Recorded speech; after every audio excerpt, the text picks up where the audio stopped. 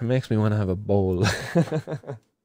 and we see more discrimination of our community than across the EU, uh, well, from the UN this time, where the UN has called for comprehensive ban on cannabis advertising. Um, this is just really annoying at this stage because the UN are using our taxpayers' money. This is all paid for by by the taxpayers across Europe, um, uh, funding the UN. This is not needed at all at this stage. Like a comprehensive ban on cannabis advertising. In fairness, if anything, you should have a look on and a ban on the advertising of all drugs, if anything. Um, that would be much more better use of your times. But to look at a ban on, on advertising of cannabis is just discriminatory again at this stage. Because why banning the advertising of cannabis products at, at all? Um, if, if I'm selling a CBD product, why should I not be allowed to advertise that CBD product? What, what in the name of God it gives um, an alcohol company more right to be able to advertise their products on the likes of Facebook and on, on our bus stops as well. How many times have you driven past a bus stop and seen a bloody ad for uh, Jack Daniels or something like that, you know? Um, or Jameson, you know. Um, but but meanwhile, the UN now is calling on, on a ban on cannabis products in order to, to you know to, to, in order for what? Um, and these are comments coming from um, a lady called uh, Angela Me, um, and Angela Me had this to say. Um, she said, Of course, it is up to member states to decide if we want to take up this ban, but you now have a large private sector uh, that is now pushing to expand the cannabis market with all kinds of products claiming many things. She goes, It's, it's like tobacco advertising hundreds of years ago, which said tobacco was good for anything. The main thing is to make sure young people are not tricked by adverts into thinking cannabis is a healthy choice when it's not. Well, Angela, me, I'm sorry, you know, but actually, cannabis is actually a healthy choice when it is incorporated into a healthy lifestyle. Yes, it is. So your your misinformation here is ridiculous. She talks about the tobacco advertising of a hundred years ago. Wow, wow, that is so disingenuous. A hundred years ago, tobacco advertising was done at a time when there was no standards in advertising they, they were literally able to make all sorts of outlandish claims without any legal ramifications. Well, guess what? There's no laws in place that if an advertiser is to make any sort of illegitimate claims about a product, well, there's laws there to prevent this. This is not like a hundred years ago with tobacco products at all. No way, Jose. A hundred years ago with tobacco products, you had doctors and all sorts of people coming out and, and making um, unscientific claims because they were being paid to do so. The claims around cannabis now and the, the advertising around cannabis now is backed upon a lot of scientific data. Now, there is people out there who are overstepping some of the claims they're making about these products, and that's because they're uneducated. They don't understand the rules and regulations around making health claims on products. I had to go through four years of college myself to make get, get some um, headway around those issues of what is and isn't a health claim when you're talking about products. I, I uh, started off a company, just for example, Super Fungi, where and some of those products are up at Martin's World to buy at the moment if you want to check them out. Um, but again, in those products, I incorporate some mushroom extracts. I can talk about the health benefits of the mushroom extract, but I cannot say that my product will deliver those health benefits. And that, that, that's a bit of a complicated thing to get around.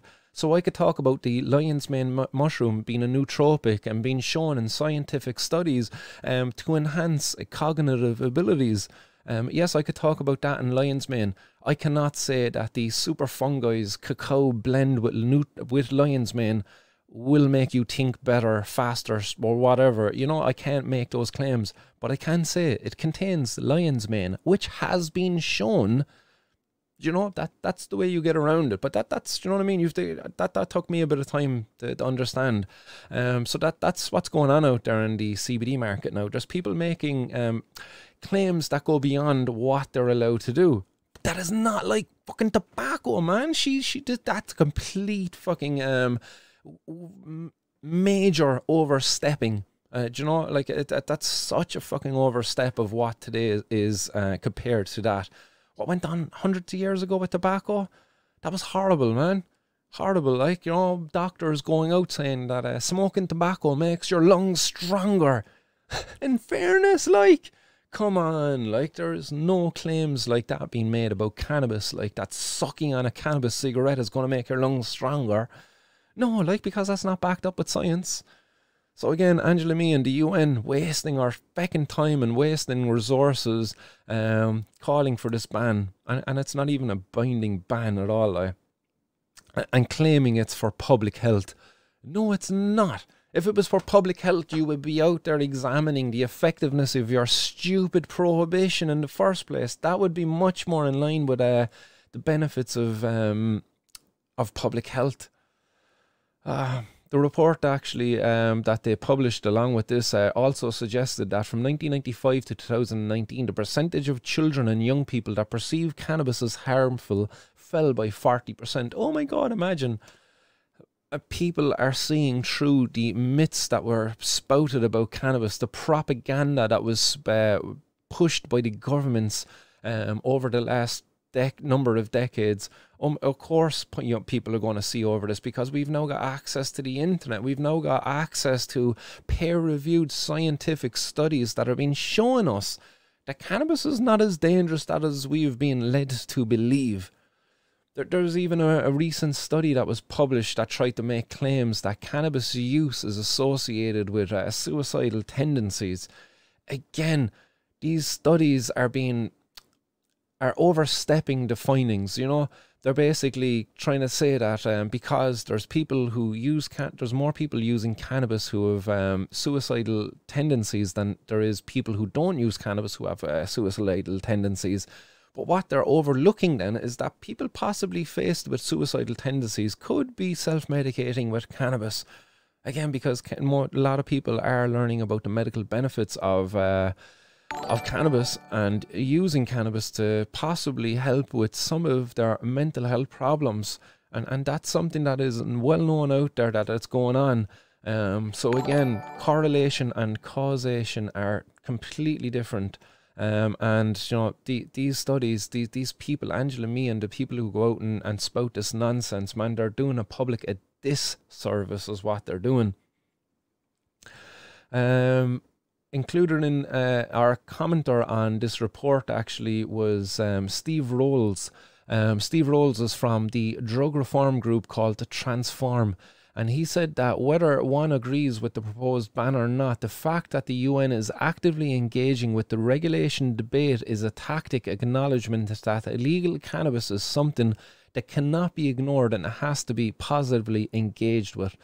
Um, so that's something to be looking at. Yeah, that the UN is now seeing that cannabis legalization is something that is happening, and that their way of engaging with it is by trying to um, prevent, say, advertising of cannabis. You know, in order to impede upon what is uh, soon to be a legal market within Europe.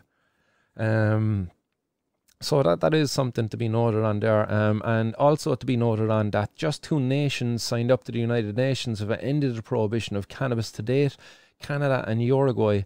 Canada has banned all adver- or Canada has bans on advertisements at retail dispensary doors and windows.